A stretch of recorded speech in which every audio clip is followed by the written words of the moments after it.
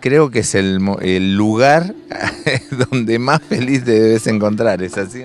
Estamos justo acá, sí, en el futuro Polideportivo de Técnica 2, un proyecto que ya tiene unos cuantos años y bueno, que ahora se está empezando a, hacer realidad y a ver concretamente eh, en este tiempo. Así que bueno, feliz de estar en este proyecto.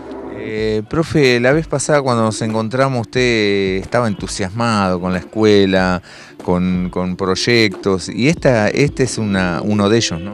Mira, este es un proyecto, la verdad que es un, proyecto, como yo le decía a los padres en la reunión de padres, eh, ambicioso, noble, eh, a largo plazo, porque la verdad es que, que cuesta un montón construir y demás, pero que se empieza a ver en el corto plazo ya los, los primeros avances, ahora van a apañar seguramente el, playón que tenemos, gracias a ayuda de, todas las entidades, porque la verdad que la municipalidad también nos ha ayudado, eh, los profes, eh, los vecinos que nos han prestado luz y agua hasta, hasta estos días, así que es un proyecto muy muy lindo y toda la comunidad se ve partícipe de este proyecto. Como para redondear la nota, ¿acá qué eh, actividades se van a practicar deportivas? En principio los profes van a hacer educación física con los chicos, eh, van a hacer prácticas de vóley y de handball en el playón. Y, bueno, y después también la idea es hacer alguna, nosotros tenemos una maratón institucional, quizás hagamos el cierre acá para que también la comunidad vaya viendo el, eh, proyecto no solo en el uso de, la, clase, sino en otros ámbitos.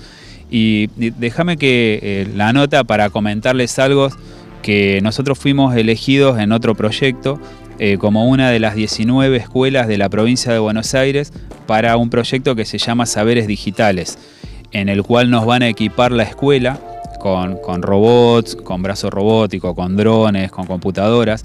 Y también eso quería compartirlo con la comunidad educativa. Hoy lo hablábamos en el, en el inicio de la clase del día.